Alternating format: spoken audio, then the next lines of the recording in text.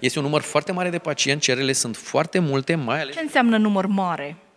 Nu, nu, n-aș putea să vă spun ca număr, dar vă spun ca întindere pe uh, durată de timp și vă spun o lună, mie mi se pare mult timpul de așteptare și de o lună, dar avem specialități unde timpul se duce și la două sau chiar la trei luni.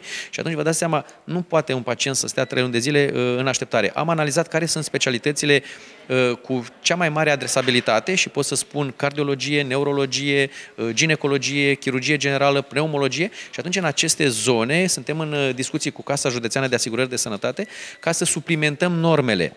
M-ați întrebat și, într-adevăr, cu cine? Suplimentăm normele, dar e vorba tot de același număr finit de medici pe care îl avem, care acționează și își desfășoară activitatea și în secție și iată că vor trebui să dubleze activitatea și din ambulator. Este foarte greu. Ne gândim pe viitor să scoatem posturi de medic dedicate ambulatorului, acolo unde vom avea uh, cerere și dorință din partea medicilor să activeze doar în ambulator. Suntem foarte bucuroși să îi avem printre noi. Managerul spitalului a mai spus că în curând pacienții se vor putea programa pentru consult în ambulatoriu și la biroul de relații cu publicul din cadrul unității medicale. În prezent, programările se fac online pe site-ul spitalului, prin medicul curant sau telefonic. Sunt însă numeroase persoane care spun că sună la spital, dar nu reușesc să găsească linia telefonică liberă ca să se poată programa pentru consult. Încercăm să oferim pacienților cât mai multe posibilități de a se programa în ambulator. În primul rând, pentru că au fost deficiențe și la uh, reușita pacienților de a se programa. Și atunci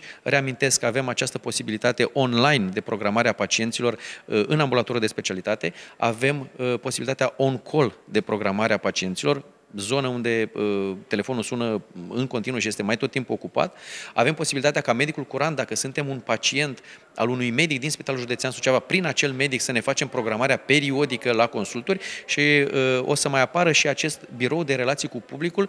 Aici vom avea posibilitatea să facem și programări în ambulator. Deci, atât că din punctul meu de vedere uh, avem toate posibilitățile uh, în momentul de față de a ne programa în acest ambulator.